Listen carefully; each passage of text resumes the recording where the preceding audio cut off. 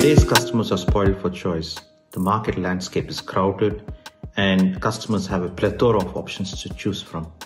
So, how do organizations stand out in this crowd? Very, very simple. Focus on the people, not on the products. The Gartner research states that only 12% of customers believe that they get personalized experiences from brands. In today's world, it is vital that organizations deliver personalized experiences to their customers, not just in order to thrive, but also in order to survive. Join me on April 22nd, 2021, as I chair the panel on hyper personalization, the rule for thriving in this changing world. We will discuss that as rules change in the new world, organizations have to focus more and more on personalized experience and experience which are digital, which are targeted, which are personalized to thrive. I'd be very pleased to host you at Confluence 2021 as we delve deep into hyper personalized experiences and have some thought provoking discussions. Thank you.